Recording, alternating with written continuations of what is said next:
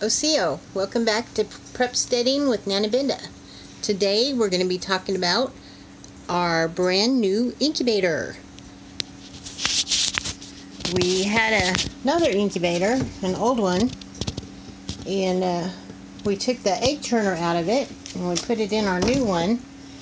And the reason we got a new one is because the other one didn't have the thermostat in the humidity thing and so we got this one so we could regulate it and keep an eye on it and do what we got to do. And being this is our very first time, we've never done it before, we wanted to be able to keep an eye on the humidity and the temperature, which is the temperature is supposed to be 99.5 and what's the humidity baby I really can't remember. I have to look it up again. I have to. I'll have to read the directions. But anyways, right now, they say that you're supposed to turn this on and let it warm up. I believe for eight hours before we put the eggs in it. And we do have our eggs. We still have to check them with the uh, little egg can egg candler.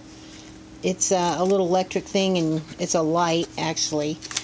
And you hold it up.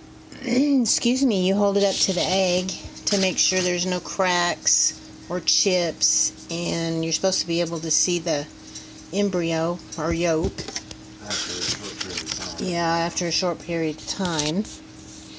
And it takes 21 days before the babies pop out of their little shells. And then uh, after that, we'll put them in a, brooder, which I don't have set up yet. We do have it, we just don't have it set up yet.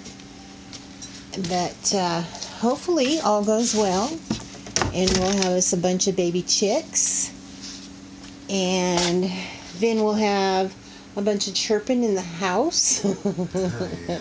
and I get to clean the brooder uh, at least twice a day.